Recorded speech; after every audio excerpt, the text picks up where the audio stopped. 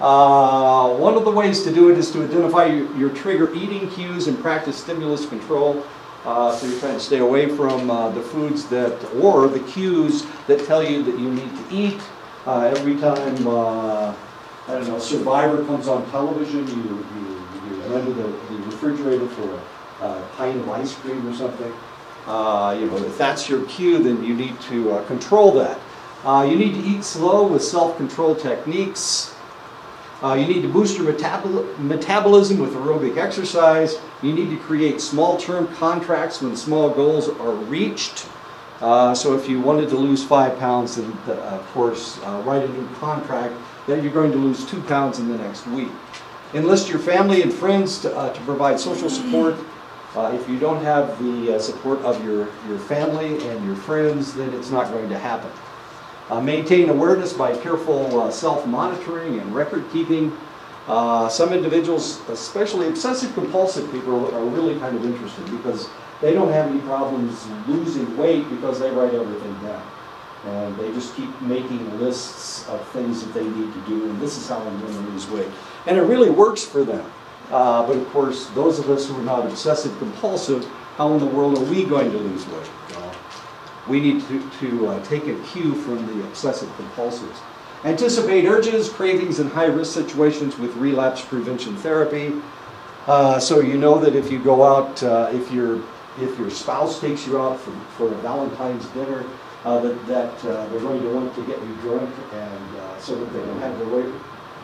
I just think it doesn't happen. or they're going to try to feed you chocolate or something to make you more more vulnerable. Well, you know that that's going to happen, so don't let them do it to you next time. Don't let them take advantage of you. Self-directed, uh, self-directed dieting. Uh, self-directed dieting is recommended for people with mild to moderate obesity unless the individual has a history of weight cycling. Weight cycling is where is yo-yo dieting, where you lose weight, you lose the weight you want to lose, and then uh, you immediately go out and uh, celebrate by by eating a, a big steak dinner with uh, chocolate cake, you know, that kind of silly thing. That's weight cycling. For people who can uh, not diet successfully on their own, there are commercial programs like the Weight Watchers or Jenny Craig, uh, and they can work. Uh, if you need that, that type of support, then that's what you need to do. Very low calorie and surgery are recommended only for people with medical problems complicated by obesity. Um, the surgery works but it's also dangerous. It can cha change your metabolism. Uh, I, I, knew two cases in, uh, in Montana uh, where the individuals uh, had uh, their stomachs uh, tied. they made their stomachs smaller. And both of them actually lost weight. but one of them died within about three weeks, and the other died of leukemia about six months after her, her surgery. Uh, why was that? Uh, well, the one died because uh, he was supposed to eat small meals, and he was eating too much food, and it uh, blew his stomach up, and he bled to death. Uh, the other one, like I said, died of leukemia because it changed her metabolism. And when it changed her metabolism, it kicked her into leukemia. Uh, for people with diabetes and other medical complications, medical supervision is recommended. Uh, individual counseling and behavioral weight uh, loss programs are considered appropriate for those with eating disorders. By promoting the availability of affordable, healthy food and beverages, uh, oh, this, this, is how communities can support uh, families and support healthy living. Uh, a lot of individuals uh, complain about BOSHs, and I don't blame you for complaining about BOSHs. I complain about BOSHs from time to time. Uh, how world can we get BOSHs to, to start stocking better food? Uh, the problem is, of course, the better food is more expensive. Will people actually buy that food is the question. Uh, one of the things that you can do on the reservation, this is what, uh, what they were doing up on Fort Belknap, uh, was that they were starting a cooperative uh, grocery store. Um, the cooperative grocery store sold everything at cost.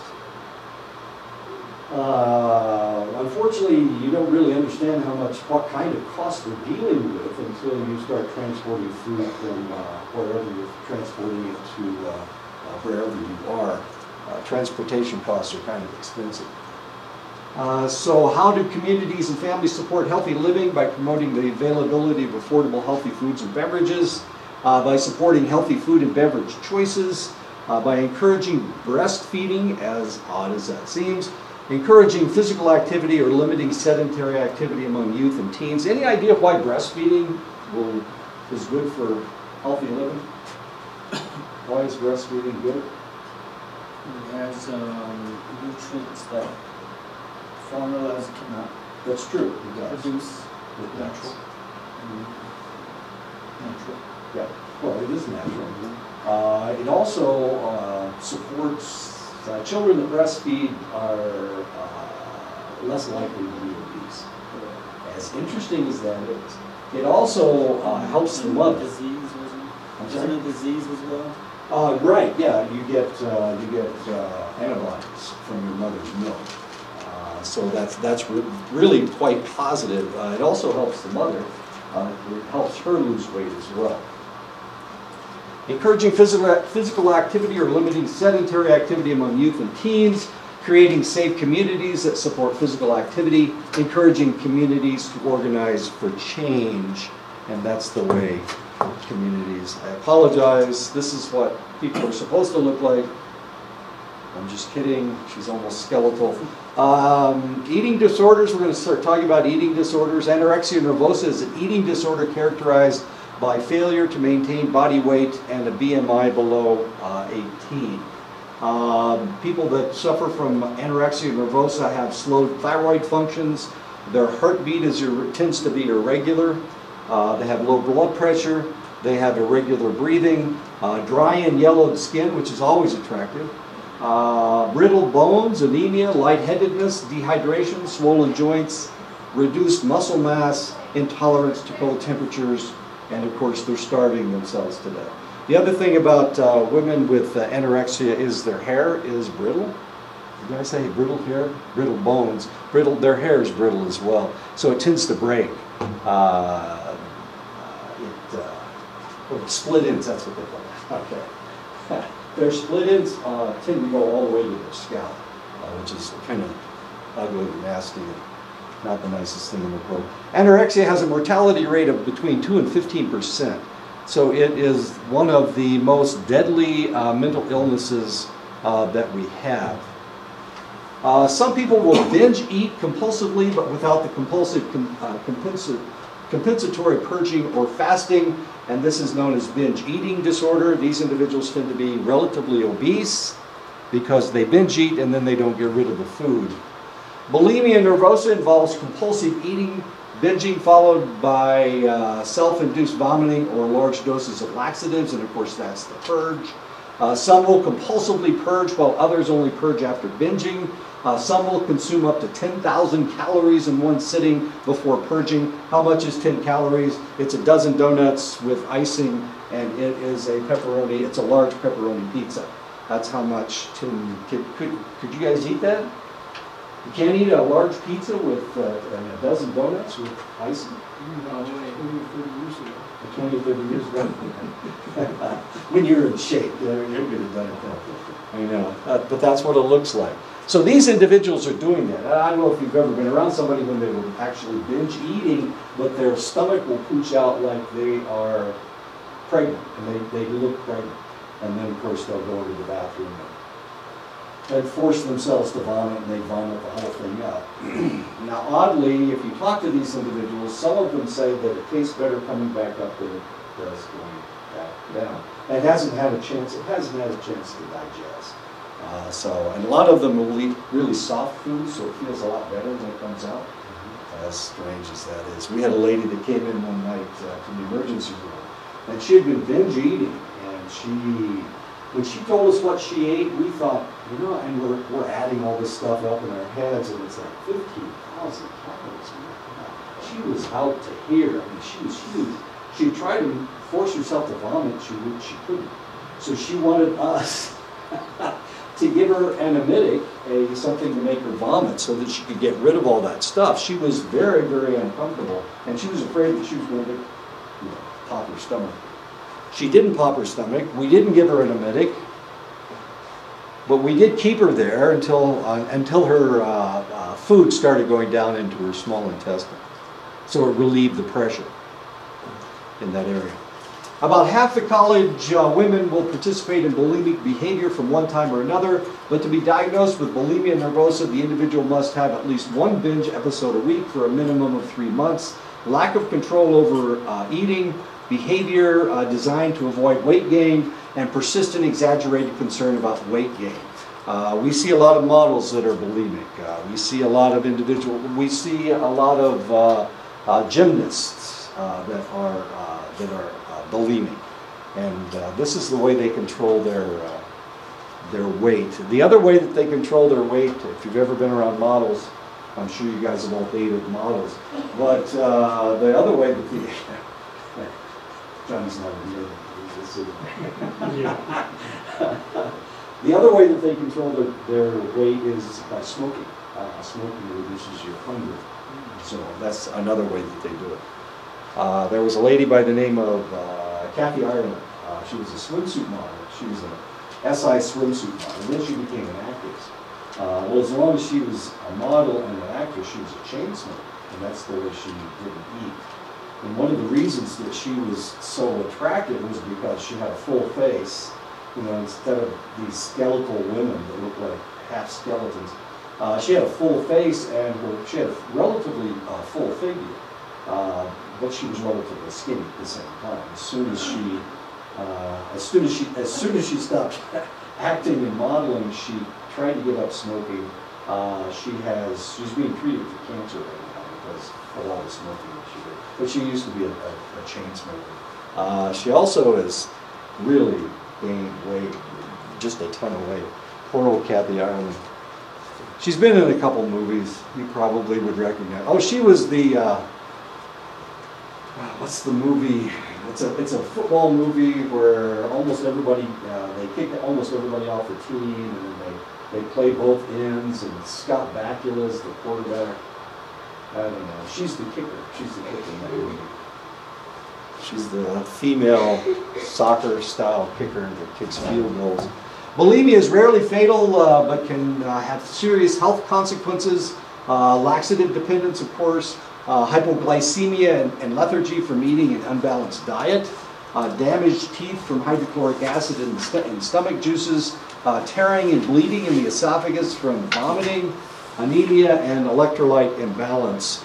Uh, I haven't really seen this as a problem around here neither anorexia nor bulimia. I haven't really seen it. It's not very prevalent on most Indian reservations that I'm aware of. Unlike almost all mental illnesses, anorexia and bulimia sufferers are 75% female. Men don't really care to be that skinny. Before the 1970s, eating disorders only appeared among upper middle class women in Western cultures. And if you read a psychology text from the 80s or 90s, you may actually read that that, uh, that bulimia and anorexia are uh, only seen in upper middle class uh, white uh, communities. Uh, before 1900, eating disorders were unheard of. Uh, it is estimated that people in the United States suffering from eating disorders, 0.6% are anorexic, 1% have bulimia nervosa, and 2.8% are binge eaters. They have binge eating disorders. And that is the end of chapter 8. I am on chapter 9. This is the ninth week. So tell your friends, all your friends. I'm sure you have lots of friends that care whether I'm caught up or not. Uh, I'm sure you do. Everybody cares whether I'm caught up or not. So the next chapter is about substance use, abuse, and addiction.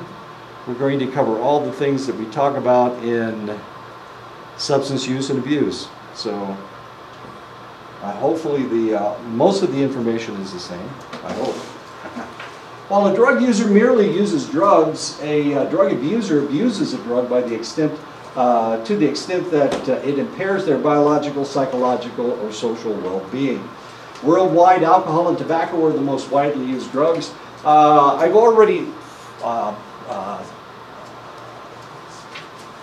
finalized your grades, so I've already put your grades up, so you can see your midterm grades, I guess. I don't know how Anyway, anyway your, your grades are all up.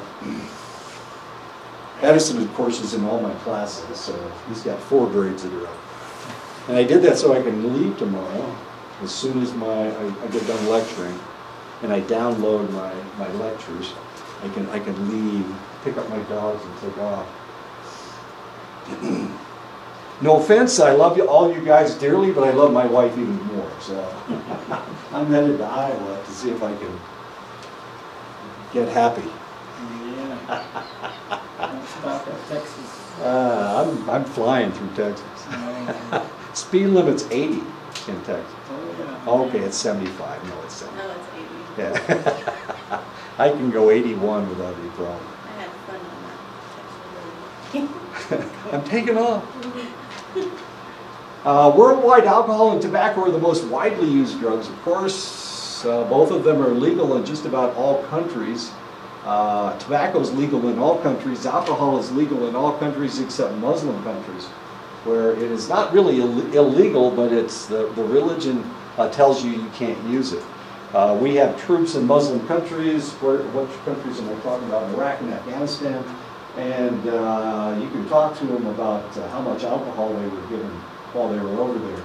Uh, when we were in Vietnam, they used to they used to uh, give us barrels of, of beers. They'd pack it in ice and they'd, they'd helicopter it in in the evening, and so you'd have all this beer. And it was all false stuff. anyway, probably the worst beer ever made. Uh, yeah, yeah, really good stuff. But uh, of course, they can't do that in Afghanistan or, uh, or Iraq because they're both Muslim countries. Uh, the abuse of illegal drugs, alcohol, and tobacco is the cause of more deaths, illnesses, and disabilities than any other preventable health condition. Uh, so people will voluntarily smoke cigarettes, they'll voluntarily drink alcohol, and that causes a lot of problems. Alcohol is the third largest risk factor for disease in the world after lack of food for children and unsafe sex. What unsafe sex are we talking about? Why are people, why is unsafe sex dangerous? What are people dying of? Disease. AIDS, yeah, the AIDS epidemic, especially in Africa. Killed over 25 million people in, in uh, sub-Saharan Africa. Uh, 2.5 million deaths a year occur due to alcohol, most because of accidents caused by the alcohol. 320,000 deaths a year are caused by alcohol use by young adults. As stupid as that sounds, wait a minute, it's, it's illegal for young adults to drink alcohol. How, how in the world are they getting it? Where's it coming from? I'm shocked. Who's giving it to them? They can't buy it themselves, can they? You see it happen in movies, of course. I'm sure that's, that's fiction, right? Where do the kids get their beers? Mm-hmm. Bootleggers will sell it to them? Mm-hmm. Okay. This is a dry reservation. How? I know where it all comes from. I'm shocked. Alcohol is implicated in 40% of traffic accidents. I'm sorry, traffic deaths. Uh, 40% of traffic deaths. Um, what was I thinking of? Oh, oh, oh, uh, in, in the last class we were talking about uh, uh, how dangerous it is to drive at, uh, in the morning, like between 1 and 4 o'clock in the morning. One out of every seven drivers is drunk on the highway. And this is all over the United States, it's not just on the The closer you are to a uh, border town, uh, the more likely that uh, people will be drinking on the reservation. Real serious problem on Pine Ridge Re- Reservation. We have Chadron, which is right across the border. Pine Ridge is on, is in South Dakota, but Chadron is right on the. White clay, White Clay? white clay. Isn't that, isn't that, Before, yeah, yeah, you get where you get all the best Is that like right down the street? It is right down the street. small town, is that a small, small border? Yeah. Yeah, it's, it's in Nebraska, and it's like from, say, Clement to the store. Yeah, Um, it's rough. It's ugly. It's ugly, and it's white people that's selling it to, uh, native, native peoples.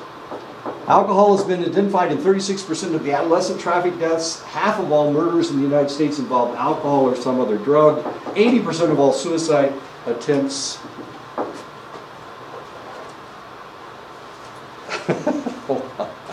Eighty percent of all suicide attempts follow alcohol usage. There we go. So let's feed the kids alcohol. Maybe if we can train them to drink and smoke, it won't have such a strong effect. I'm just kidding. That's just made that up. Globally, tobacco causes 5 million deaths annually. Uh, the number estimated uh, is estimated to go up to 8 million annually by 2030 unless we do something to control this. In 2010, 10% of graduating seniors had used Vicodin and 6% had used OxyContin. Uh, 6 million people in the United States use prescription drugs for recreational use in 2010, and of course, it's much, much, much, much worse now. It is an epidemic in the United States. There are five methods of ad- ad- administration of, uh, of any type of drug. Uh, you can administer it orally, you can take a pill and swallow it. Uh, you can stick it up your rectum. That's known as a suppository. Suppository. You can so you can use it. You can do it rectally. You can inject it with a needle. You can inhale it through your lungs, or you can absorb it through your skin. We have skin patches now for just about everything. Uh, Tom Petty, when he died, had two fentanyl patches on his arms, one of one kind and one of another kind. Uh, he had three types of fentanyl in his system, one from one patch, one from the other patch, and then he took an oral dose at the same time. The question is, did he commit suicide? Was it an accidental death, or did he just overdose? Was he used to doing this? And we don't have a clue what was on his mind when he put all those two, those two patches on his body. Uh, the blood-brain, oh, the fastest, most potent means of getting drugs into the system is by inhalation, and the second fastest is by injection into the bloodstream. Uh, the blood-brain barrier is the network of tightly packed capillaries that separates the blood and the brain, the blood-brain barrier. This is very important because we don't want everything to get into our brains, uh, especially antibiotics. We really don't need antibiotics in, in our brains. Uh, but then again, we very rarely get infection in our brains. Uh, viruses can't cross the blood-brain barrier. Bacteria can't cross the blood-brain barrier. So how do people get infections in their Usually. I'm sorry? Uh, what an idea. uh, actually, it's almost that bad. it gets in through your sinuses. If you get a bacteria in your, in your brain, it usually gets in through your sinuses. Uh, drugs' fat solubility determines uh, the ease with which it passes through this barrier, as well as the placental barrier for pregnant mothers. Unlike the porous blood capillaries in most other parts of the body, body the, those in the brain are tightly packed, forming a fatty glial sheath that provides a protective environment for the brain. The glial sheath develops from the nearby astrocytes. To reach the brain, a drug first must be absorbed through the capillary wall and then through the fatty sheath.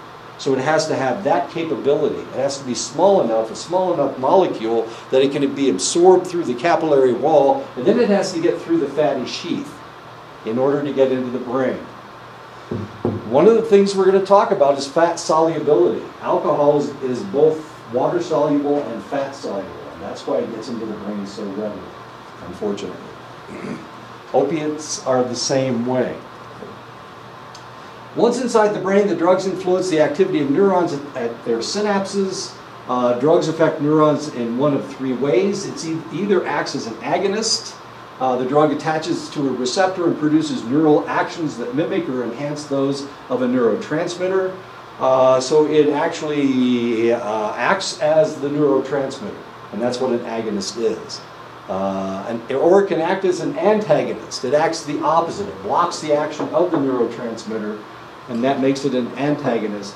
Uh, by enhancing or blocking the reabsorption of the neurotransmitter, that's the third way that they can do it, uh, and that is the way that amphetamines work. Uh, they block the reuptake of um, uh, acetylcholine and dopamine, and that makes you, that gives you the excitement that you have.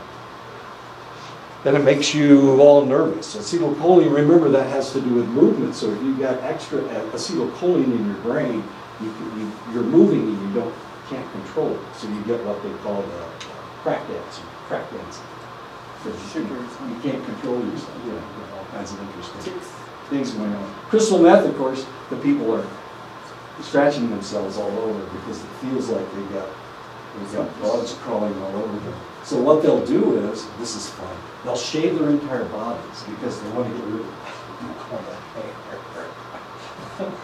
hair. So you can tell if somebody is, is uh, a crackhead uh, or if they're on speed because they shave all the hair off their bodies. I had a, let's see, what was he to me? Uh, my niece's husband shaved every hair off his body.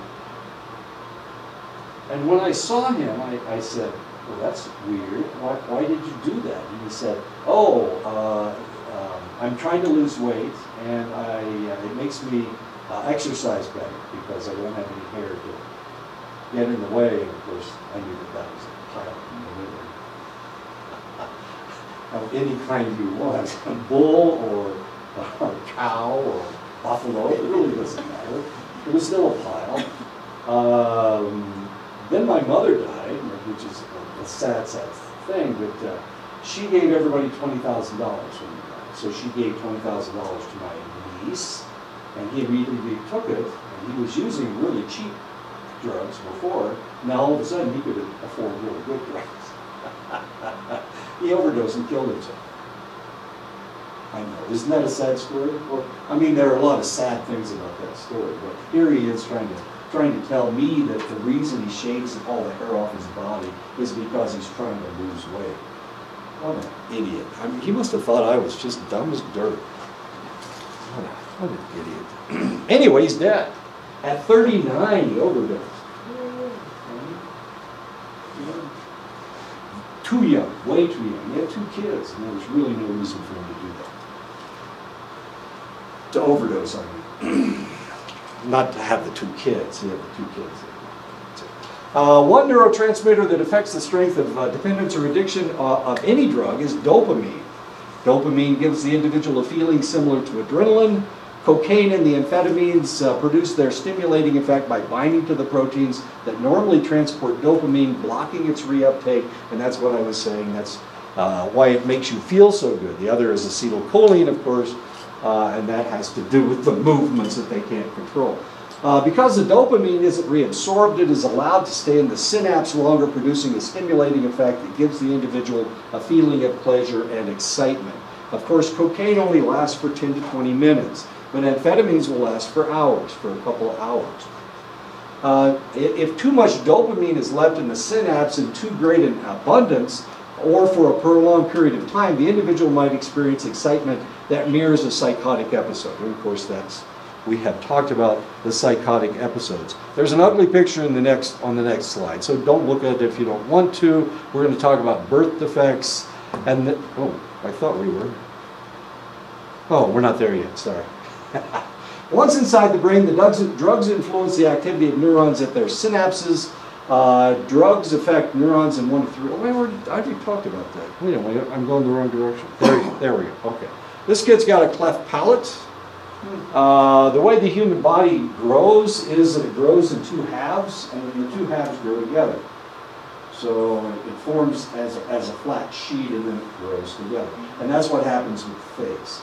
Uh, one of the reasons that we talk about the symmetry being attractive is because uh, when you when your two halves grow together uh, and, and they, they fuse, uh, if they are symmetrical, if you have had good nutrition, if your mother had good nutrition, then all of that will be perfect. The symmetry will be perfect. Obviously, the symmetry in this child is not perfect. Uh, the palate didn't grow together. Uh, the interesting thing about the face is that uh, each half por- portion of your face grows at a different rate. Uh, so your palate is one of the last things it forms, actually.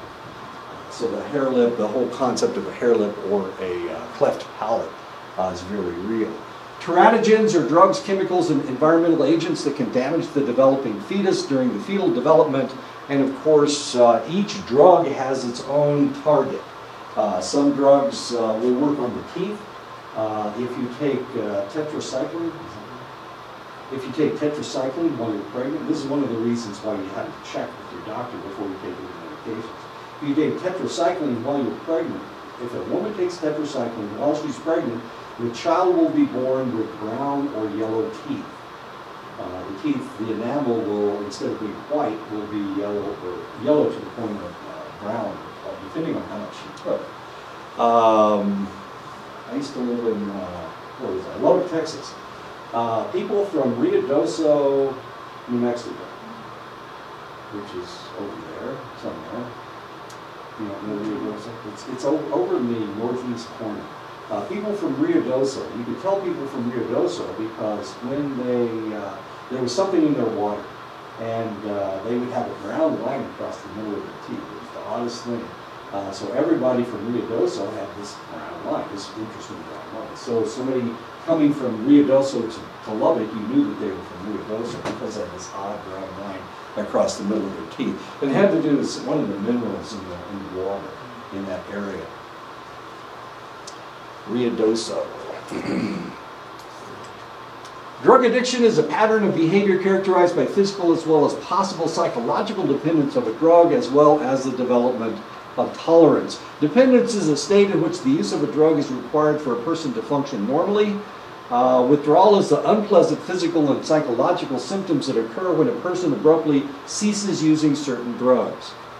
Tolerance is a state of progressively decreasing responsiveness to frequently used drugs. Uh, the hypersensitivity theory is the theory that, that addiction is the result of efforts by the body and the brain to counteract the effects of a drug to maintain an optimal internal state. And I talk about this all the time. This has to do with the uh, upregulation, downregulation, uh, whereas the, uh, the brain is trying to protect itself from the excess amount of, uh, of uh, neurotransmitter that you're pumping into its synapses. Tolerance is caused when the brain tries to protect itself by reducing the number of receptor sites, and that's upregulation and downregulation. We already know all the rest of that stuff. Uh, psychoactive drugs are drugs that affect mood, behavior, and cognition by altering the function of neurons in the brain and include hallucinogens, stimulants, and depressants. And of course, we are talking about all these in substance use and abuse, but we'll talk about them right now.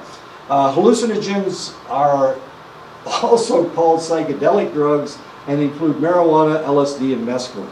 I've had more arguments with people who tried to tell me that, that marijuana was not a hallucinogen, that it wasn't a psychedelic. They'd never had, they, they've been smoking since they were five, and they've never had, they've never had any hallucinations whatsoever. Okay. Hallucinogens uh, alter uh, sensory perception, uh, inducing visual and auditory hallucinations. The problem is they just don't know the definition of what a hallucination is. That's, that's really their problem. Stimulants include uh, nicotine, caffeine, cocaine, and amphetamines. Uh, stimulants boost activity in the central nervous system by altering the action of the acetylcholine, the catecholamines. Uh, the catecholamines are norepinephrine and, and uh, epinephrine. Uh, and dopamine. Stimulants are widely abused because of their powerful reward effects. They make you feel good. With stimulants, there is a rapid development of physical and psychological dependence. Withdrawal from stimulants leads to increased appetite, weight gain, fatigue, uh, sleepiness, and in some cases, paranoia. Uh, but one of the aspects of almost all the drugs is that there is a paranoid aspect to all of these drugs. Uh, normally what happens uh, is that uh, uh, if you're using uh, and you're not using, if you, you, you're normally using and you're not using today, then you're, uh, all of these neurotransmitters are going to decline. You're going to have a downregulation of receptor sites. Now all of a sudden you feel a dearth, you feel a, a, a vacuum. And because of that, it makes you feel paranoid. You feel you feel like people are out to persecute you, and mostly it has to do with the neurotransmitters in your brain. Uh, of course, uh, how do we treat anxiety? Uh, we increase your GABA level. Well, GABA is one of the, the neurotransmitters that declines when you're not taking your drugs, of Does it- course. Does Have- it make you feel depressed when you're not taking your usual drugs that Are we, what, what are we? you, just like, you know? Any drugs? Uh, does it make you feel depressed? Usually, because uh, the reason people take drugs is because it makes them feel so damn good.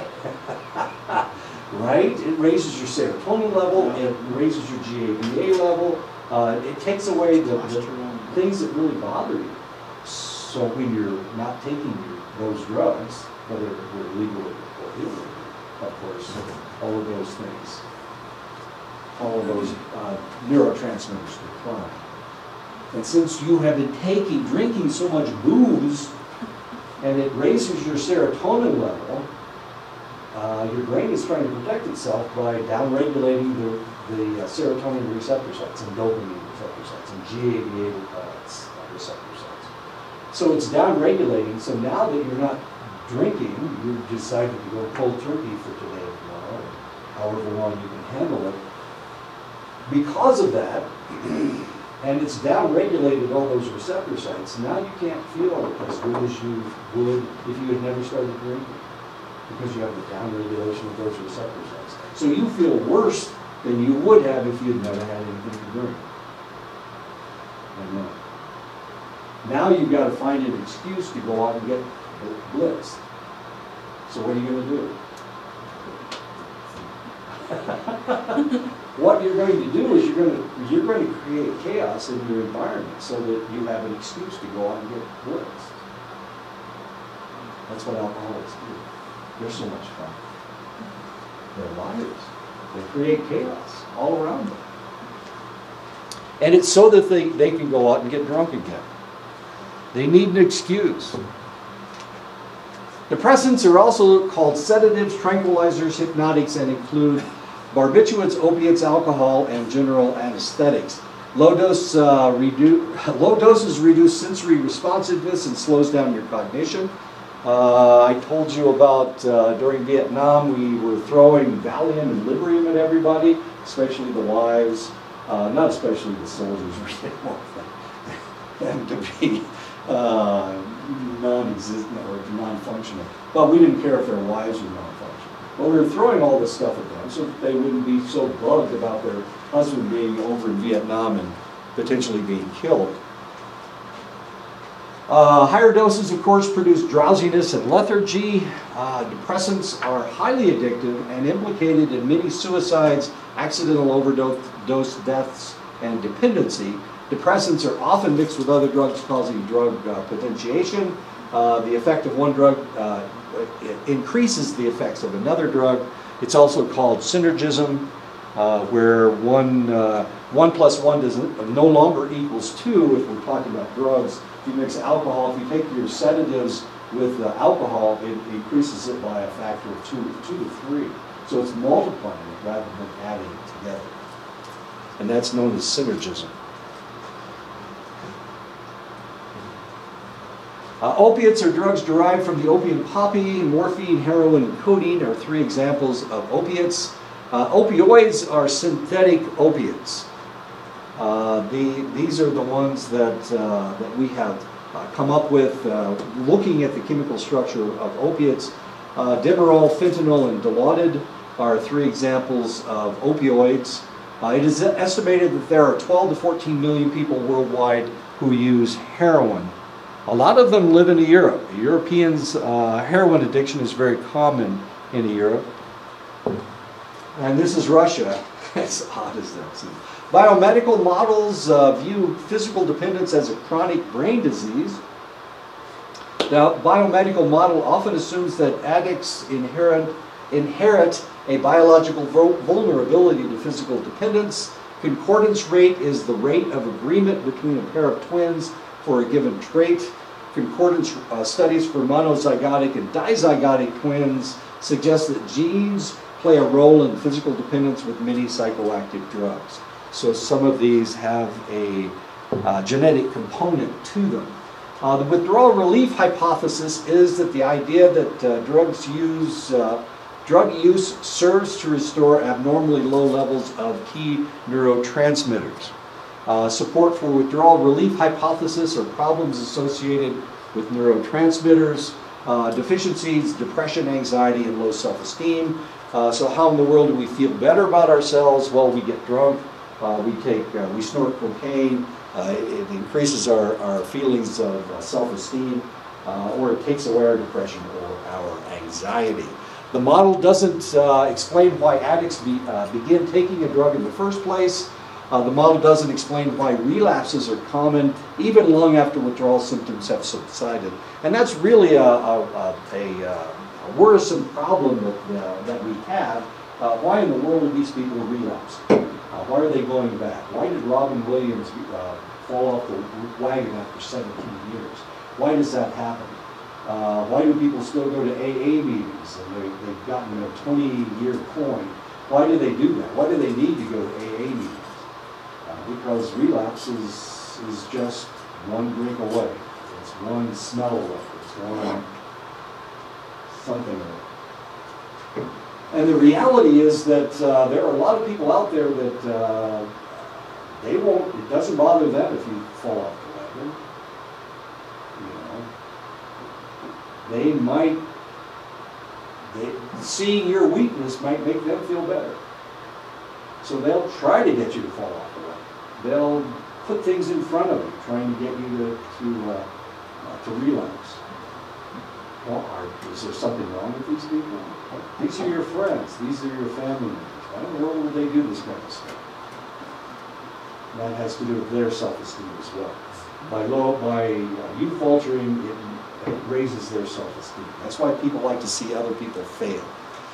The model, okay, we already talked about that stuff. Okay. Uh, the reward model, i- i- am I right or am I ro- wrong? Okay. I know. Maybe, maybe on the reservation there's no people like that.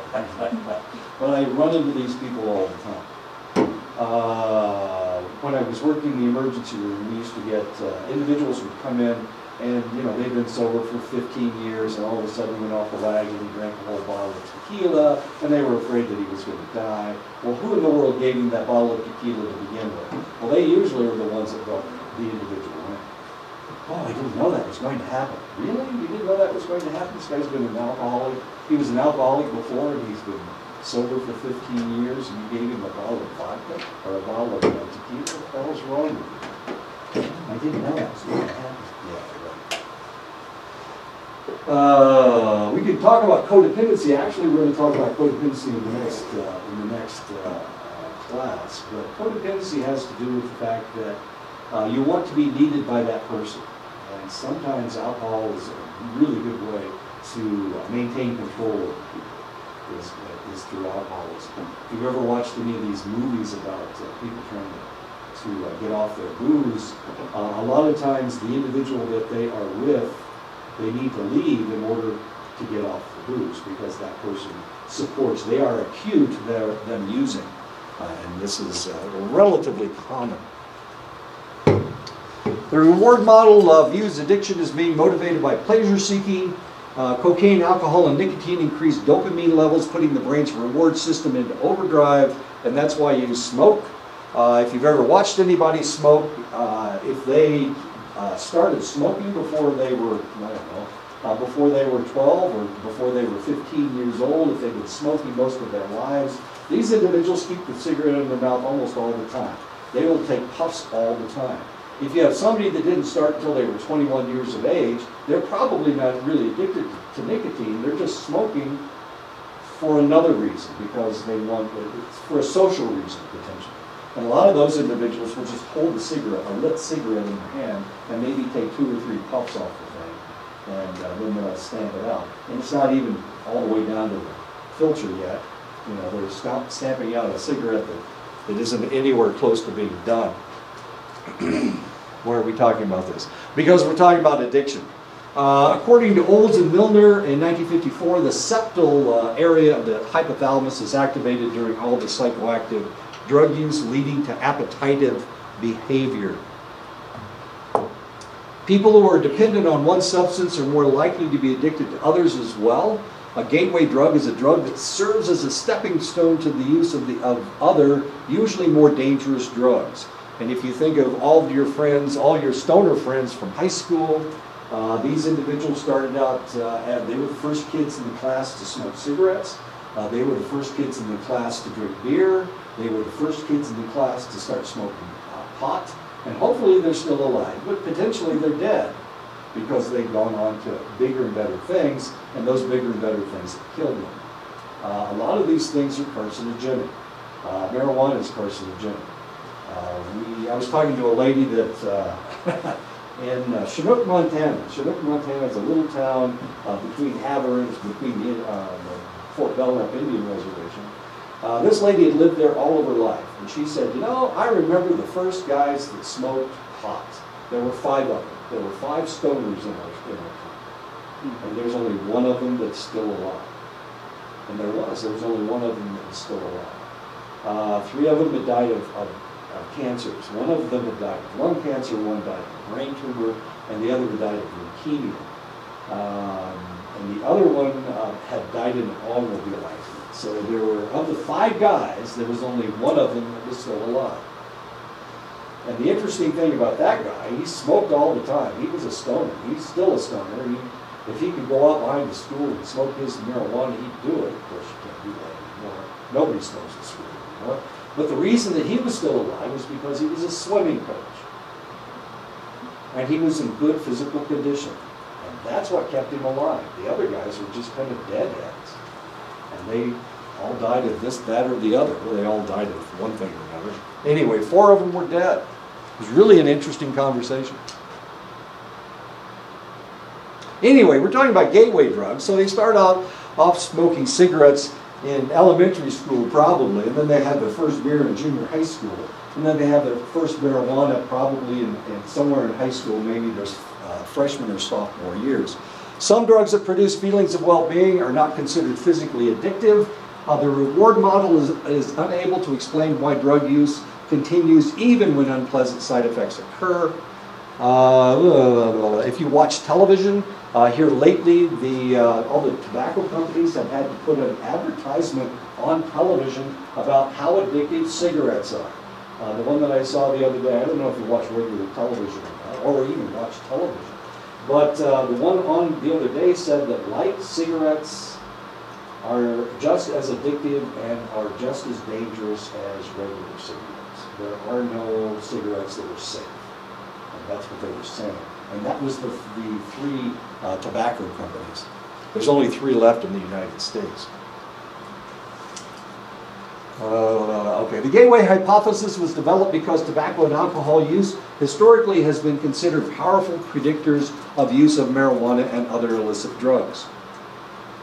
But newer research uh, findings indicate that environmental factors may have a stronger influence on the subsequent drug use. Economically deprived neighborhood environments, uh, we see a lot of drug use in uh, deprived neighborhoods. Uh, if you are exposed frequently to drugs, you're more likely to use drugs. And if you have, uh, have little parental control, uh, the young children are more likely to use drugs as well.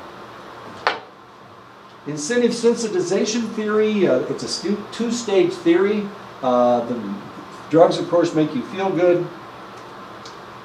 Drug use becomes automatic, automatic behavior or automated behavior. Uh, it expands uh, on reward model, explained that repeated drug use sensitizes the brain's reward system to drug-related cues. Thus, they become conditioned stimuli that evoke dopamine release and craving. And of course, you don't even have to smoke tobacco, you just have to think about it, and you actually get a shot of dopamine in your brain. Uh, that's what makes you run outside and light that cigarette up because you've already, you've or you're already being rewarded for even thinking about smoking. The dopamine is being released from your brain, and now you feel really, really good. And if you can't have that tobacco, you're, you're all nervous and uh, act erratically. Uh, social learning models view addiction as behavior shaped by learning as well as by social and cognitive factors. A person identifies with a particular drug, seeing oneself as a drinker, for example, which plays a role, uh, a key role in the initiation and the maintenance of, of an addiction. Really kind of interesting. I had a friend when I was in high school. Uh, actually, I had, he was, uh, we started the first grade together. And nobody liked this kid because, well, I don't know why people didn't like him. His skin was kind of rough. But his problem was he was a type 1 diabetic. Uh, so, and, and he, he, uh, he uh, memorized joke books. So he told a lot of jokes, and the jokes weren't very funny because the joke books weren't very good. He laughed about it. But I laughed anyway. I was trying to, I, you know, I felt sorry for him. Nobody, no, He was people, laughing. people wouldn't pay attention to it. It was really kind of tragic. Uh, so I went over to his house. Uh, I visited him, and uh, he he uh, was in a uh, room with his older brother, uh, which was okay. That wasn't a problem. And his older brother was a um, comic book collector. So he had piled stacks and stacks of comic books, uh, which is always Superman. You know, oh, cool stuff. You know, this is really kind of cool. My favorite were the Bizarro World Superman comic books. Everything's backwards. Everybody's a Superman. It was really kind of fun. Uh, anyway, so Doug and I were, were really good friends uh, throughout most of our, our, our careers, most of our high school careers. Uh, but Doug wanted to be just like Denny. Denny was his brother. And uh, Denny was, was cool. He was cool. Denny was cool. Uh, had his hair combed back into a ducktail. Denny was always cool. Yeah. Uh, but Denny was a drinker. Now, if you know anything about diabetics, they can't really consume alcohol because alcohol turns into sugar.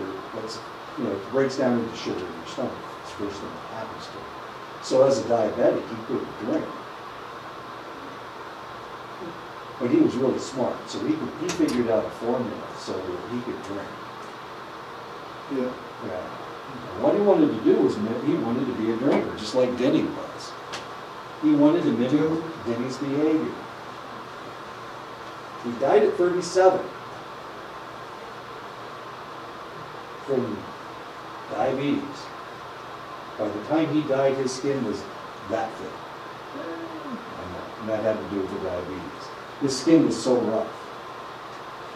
Uh, he didn't lose any body parts. Usually diabetics, you know, lose circulation in the toes and they have to cut them off. They lose circulation in the feet and have to cut them off. You have to amputate.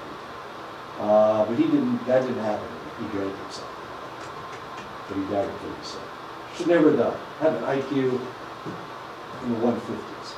The man was brilliant. Except he was stupid, you know? Why did he have to mimic, try to mimic his brother?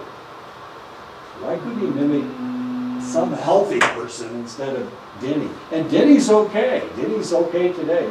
He's a factory worker, goes home and drinks his beers every night. He's not a diabetic, so he doesn't have this problem whatsoever. But Doug wanted to be just like Denny. As sad as that was. Not. That, that'll break your heart. Uh, what else happened to him? Um, when he was a junior in high school, um, he was driving drunk, and he wrecked his car and knocked all his teeth out, knocked all his front teeth. So, so uh, he got he got false teeth, which was okay. I mean, it looked just like he did before. But uh, because he was an alcoholic, his gums kept changing shapes and sizes, so that he couldn't wear his false teeth. So every time you saw him, he had to take his false teeth out. Unless he hadn't been drinking, because drinking, of course, made him swell up. and His gums swelled up and he couldn't wear his teeth. And they were uncomfortable to wear if his gums were swollen. Ah, isn't this a sad story? And he died at 37.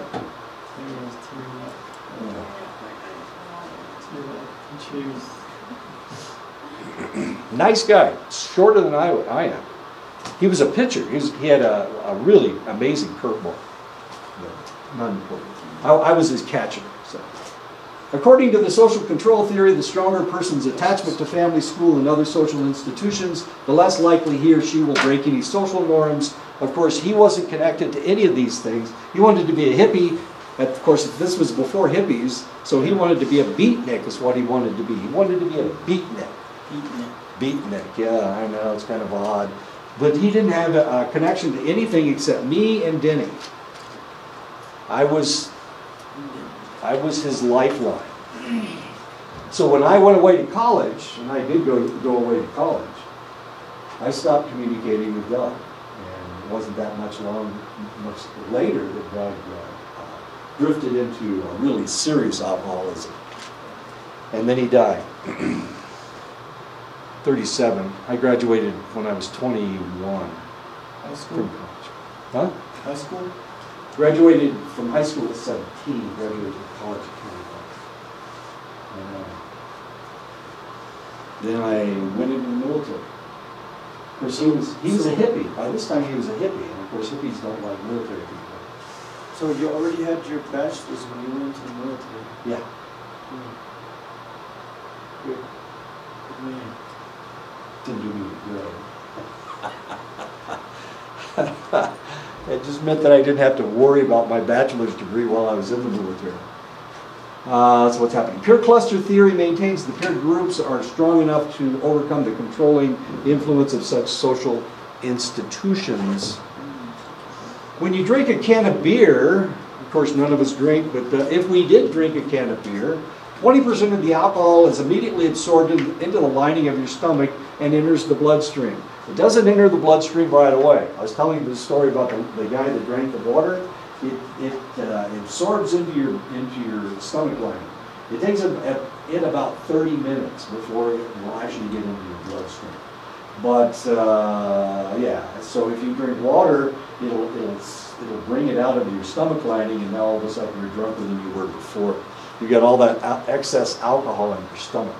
The remaining 80% uh, moves into the upper intestines either rapidly or slowly, depending on the amount of food in the stomach, uh, slowing the process down.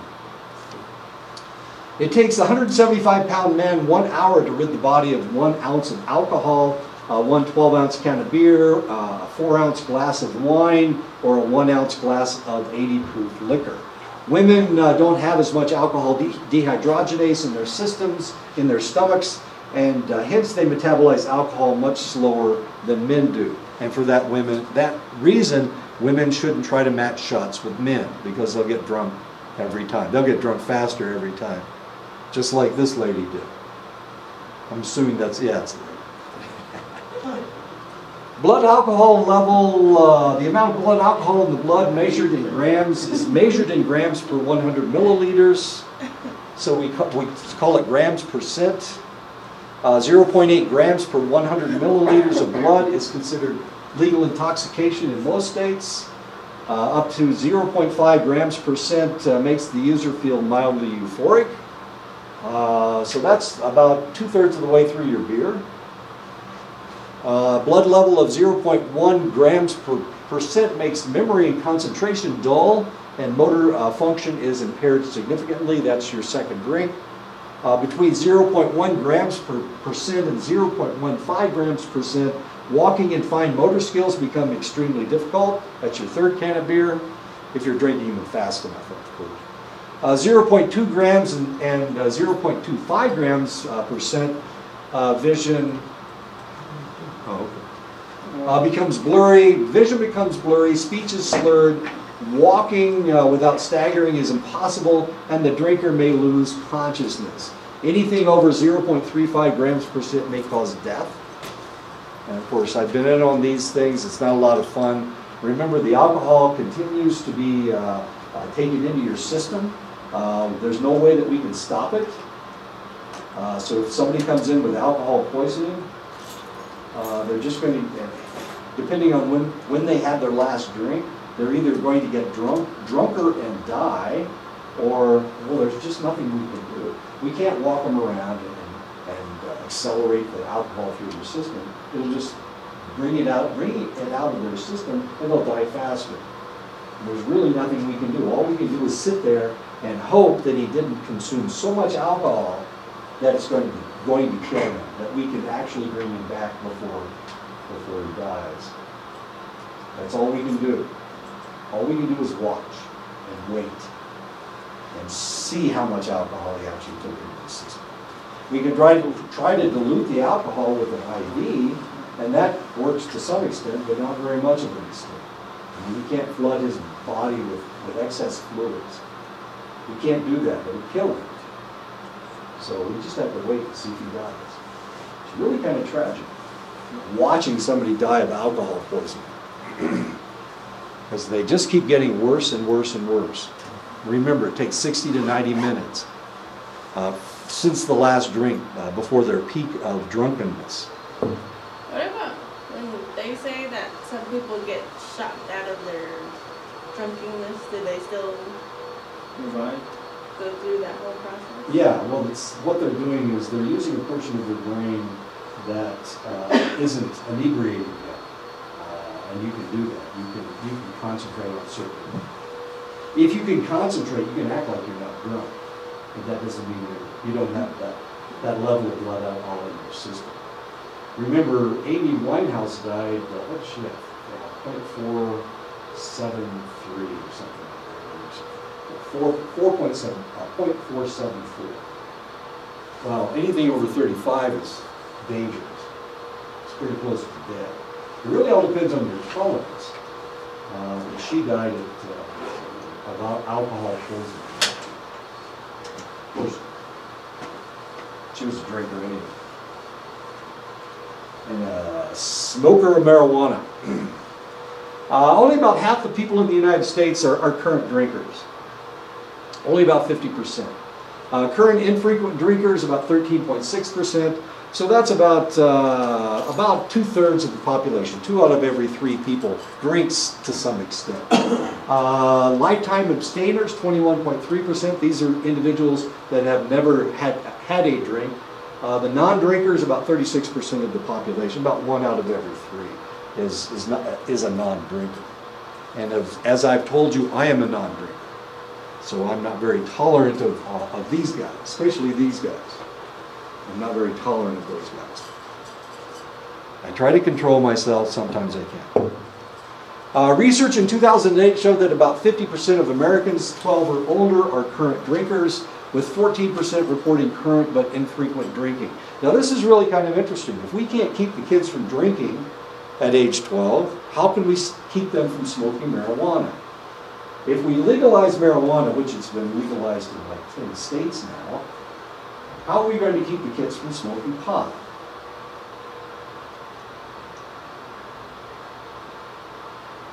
It's illegal to sell kids alcohol, right? How are they getting their alcohol? That's one of the reasons I asked you that question before. How are they getting their alcohol? Bootleggers, okay, so they're, they're willing to give 12-year-olds alcohol? Brothers, sisters, who's giving these kids their alcohol? 30-year-old men trying to get 11-year-old girls drunk? Is that what's going on? Something's going on because they're getting the alcohol. So the other question is, how are we going to keep them from smoking pot? Pot makes you stupid. I mean, it really does. It lowers your IQ. It makes you dumb. It, it, it affects your short-term memory. So how, and if you start smoking before the age of 12, you can lower your IQ by 20 points.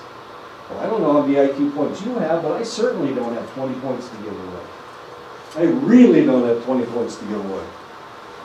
So how in the world do we keep these kids from smoking pot? If we can't keep them from drinking alcohol. You don't even have to smoke pot. You can, you can eat it. A guy was just arrested, he's from California, he was just arrested with a, with a truckload of uh, edibles, candy bars with marijuana in it, in uh, Gallup, right outside of Gallup. They taste kind of gross though. Hmm? I said they taste kind of gross. What? Having candy and cookies with marijuana. They, they put it in gummy bears. No. I don't like gummy bears. I've tried, tried it. It doesn't taste. What, gummy bears? No chocolate. Oh, chocolate with marijuana in it? They used to put it in uh, brownies. They used to put it in brownies because it tastes kind of like chocolate. It has a,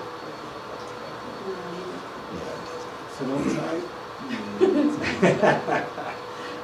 So the question is, how can we keep these kids away from it? These 12-year-olds, because they want to be cool. I mean, everybody wants to be cool, don't they? I mean, I want to be cool. That's why I dress in Hawaiian shirts every day. Not every day. I'm just kidding. Only this week. So how do we keep the kids away from marijuana? Since it's going to make them dumb. We're we're going to be living that movie idiocracy. Have them do it. We're already. Find out. We're already living it, I'm afraid. Okay. Just a thought. What time is it? Forty-eight? I can get through this. At-risk drinkers are drinkers who have two or more episodes of binge drinking uh, in the past month or consuming an average of two or more alcoholic drinks per day in the past month. At-risk drinkers are, are uh, most prevalent in the age groups uh, 25 to 44. Between the ages of 18 and 24, individuals have the highest rate of binge and heavy drinking, 18 and 24. And it's only legal for the people over the age of 21. Yet, these 18, 19, 20 year olds are still getting alcohol somehow. Maybe they're getting it from their friends. Luckily, I don't have any friends. Compared with uh, women, uh, more men are current drinkers, binge drinkers, and heavy drinkers. Prevalence varies by ethnic and cultural background in the following order. European Americans drink the most. Hispanic Americans are number two. Number three is African Americans, and Asian Americans drink the least. Asian Americans, of course, have uh, uh, don't have as much alcohol dehydrogenase in their stomachs. Therefore, they have a really negative reaction uh, when they drink alcohol. So, where are American Indians in this list? Any guesses? At the bottom, Do you guys drink the least? yeah. Well, maybe Navajos do. Maybe, most- maybe Navajos do, but go to the Pine Ridge Reservation sometime. Or below Hispanic? They're actually above Hispanics. Right. What's the interesting thing about Hispanics?